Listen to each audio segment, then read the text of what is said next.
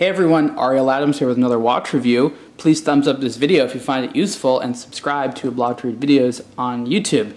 This is the Ernst Benz ChronoLunar Officer.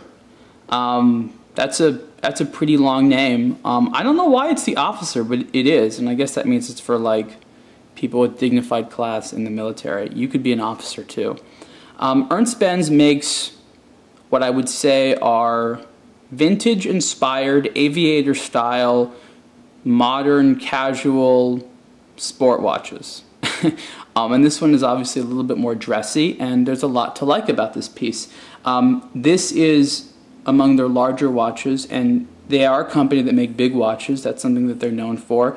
Um, that's just been their thing for a lot of years. It's never been a trendy thing. They're just they make big watches, and you can see it's very very heavily aviator inspired, and that has to do with the large applied Arabic hour numerals and the aviator style hands. So what's special about this watch is that it incorporates the Swiss ETA Valjoux 7751 um, automatic movement, which has um, a lot of different features in it. The case is 47 millimeters wide in uh, polished steel. The polishing is, is quite nice and uh, there are not that many companies these days that actually offer fully polished cases.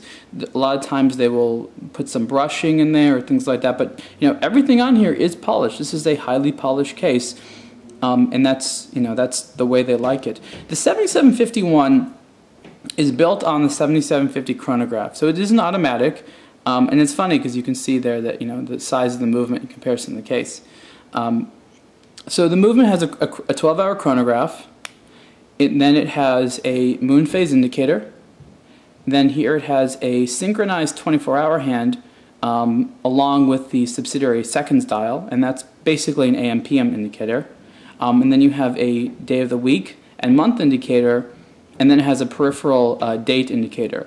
The problem with the 7751, as I pointed out in the past, is that it's very, very hard to balance um, the dial because you have all this stuff kind of to the left and then there's a big empty space right here. So what Ernst Benz has done pretty well is incorporate the logo and name of the model over there on the right, which helps the dial you know be a little bit more grounded and not look feel so heavy um, towards the left, which can which can happen a lot there. But you know it's a it's a nice it's a nice integration of the 7751. It has that vintage feel. Um, it's quite legible, and uh, that's you know pretty much all you can say about that. Um, this is the black dialed version. There's a few other dials of the ChronoLunar Officer. There's a white one.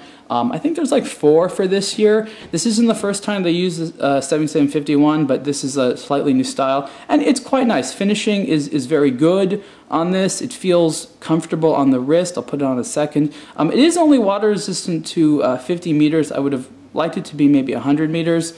Um, I think that would have helped it be a little bit more sporty. Um, what I do want to say about this watch is the strap. There's an alligator strap, and it's it's a pretty handsome strap. It's a nice strap. Ernst Benz did a good job choosing a strap. Not only does it look nice and it has that nice shine that Alligator has, but it's padded and it's just it's a comfy watch. Um, as you can see that this is a this wears a little bit larger, um, not just because it's 47 millimeters wide, but also because the lugs stick out a little bit. So.